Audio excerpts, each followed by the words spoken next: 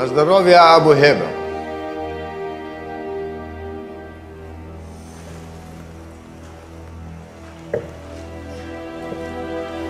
Абу Хеба любит приключения. Точно. طالما بنعمله حساب كل حاجة أو فاهمين دماغ الناس أو كله بيطلع راضي ومبسوط يبقى تمام التمام وميت فل والمصلحة بتكفي نفسيها أو تكسب Отлично. أتليتش Probably. Probably we're looking forward to expand our arms operations in Egypt. I know there are no official wars between countries, but they have demand more weaponry. We need to expand. Taking enough, Abu Hab. You've got to change the type of weapons you're taking from us. Why don't you ask for heavy artillery like uh, cannons? لأن زبايني من الصعيد أو دول سلاحهم معروف آلي يا إما ناس تانية عاوزة تأمن نفسيها أو دول برضك سلاحهم معروف لكن السلاح التقيل ما عنديش ليه زبون تجار مخدرات أو متطرفين ودول ملهمش أمان You know, your brother, Hakam, and his son, Khalaf, already took some heavy arms before.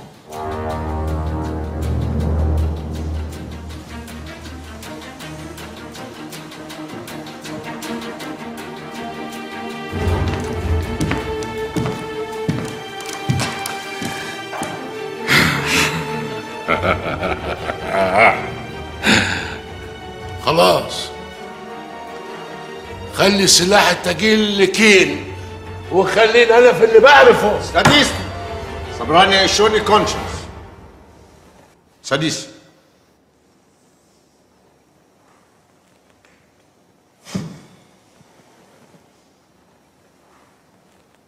السنة الوحيدة اللي كنت فيها المسؤول الوحيد. عن بيع السلاح في مصر. قدرت أخلي بيع السلاح سهل قوي غير السنين اللي فاتت. انت تتكلم عن نفسك بس. مالكش دعوة بالسنين اللي فاتت. أنا الحقيقة يا جماعة مش قصدي أضايقكم خالص. على الإطلاق. بس الحقيقة برضو يا أبو هيبة إن أنا في السنة اللي فاتت دي بعت خمس أضعاف اللي أنت قدرت تبيعه. يا أبو هيبة. ومش عايز أضايقك برضو. The arms market size. In the Middle East, according to our statistics in the past 10 years, it's around 70%. Egypt alone amounts 39. The statistics says that steady increase, but it's marginal and slow, especially when there are a lot of indications of more conflicts and not only in Egypt, whole the region, by the separate notice. I don't want to see any weapon coming in from Libya, Sudan, or Gaza.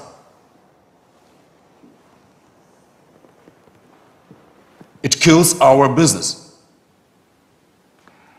Это правильно. Но нам не надо забыть об опытом Абу Хеба. Честность и стабильность – уровень оружия в мире. Да. Но Кин... Кин увеличил свои продажи от 10 до 35% в Египте. Кроме того, мы никогда не сможем завести тяжелую артиллерию через египетскую службу безопасности. Очевидно. Нам нужны они оба. Абхава и Кин.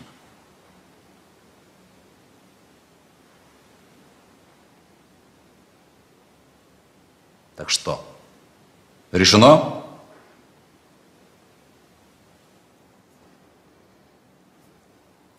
Подумаем.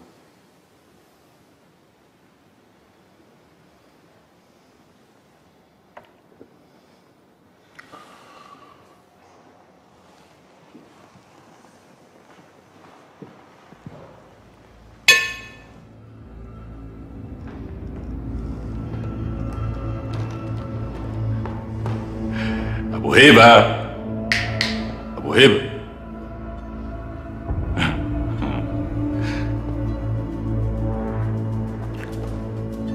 لو فاكر نفسك حاجة تبقى تعبان.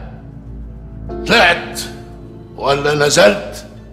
مالكش حازة يا جامد. هتشوف بكرة اللي ملوش عازة ده هيعمل فيك إيه يا أبو حسابك كبير قواكين واني هحاسبك عليه كله على بعضيه صعب يا أبو هيبه صعب. أصل أنا ماليش ملكة يا أبو هيبه لا ليا عزوه اخاف عليها ولا ليا أرض ولا ليا وطن. لو فكر العزوة مالكة تبقى غلطان. عزوة أبو هيبة هيبة! هو انت ما عرفتش ان أخوك جاي لي لغايه عندي وعايز يشتغل معايا. يا فرحتك بعزوتك يا أبو هيبة. بقول لك إيه؟ ما تسيب تجارة السلاح دي واشتغل في أي حاجة تانية. اشتغل خطبه مثلا. أنا هوريك شغل الحريم اللي أنت منيهم. فرق بيني وبينك إنك أعمى. ما بتشوفش غير اللي معاه التمن. لكن أنا عندي قانوني الشمال ملوش قانون يا ابو هيبه الشمال لو اتساب هتولع. تولع ده كل لما تولع نشتغل أكتر يا أبو هيبة. تجارة. تجارة يا أبو هيبة والتجارة شطارة. ما هي لو البلد تهمك؟ كنت هتخاف عليها بطل الوهم اللي انت فيه ده يا ابو هيبة. اللي يبيع ما يخافش. واللي يخ... أقول لك يا ابو هيبه أنا لو منك تروح تعمل جمعية خيرية كده تحل فيها مشاكل الصعب. وأنا لو منيك أفتح سيرك وألم فيه تعابين ونسانيس وأعمل بيهم نمرة.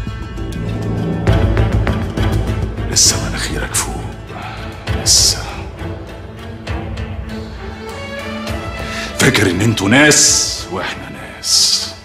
عرب وإحنا ملناش جذور. مش كل القديم أثر يا فالصو ومش كل الجذور ليها نسب. أنا هقفل عليك وامنعك تغرقنا بشر أعمالك. وأنا هفضل وراك يا أبو هيبة لغاية لما أحط في كل إيد سلاح. اللي هتديله سلاح هاخده مني وأضربك بيه. بتحلم. وعايز تنسى إنك تاجر سلاح زي؟ زي. أحلم. أيوه. لكن أنسى. لا.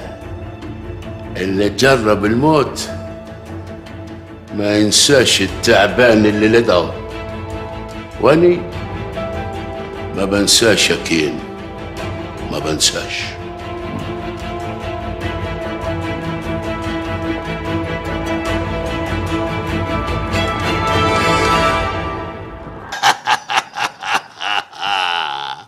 في راس السنة هنبني العقود. بس أنا قلقان شوية من كين. كين جاي على أرضي والعقود هتطمد هناك في قريتنا. أظن كين يده مغلولة.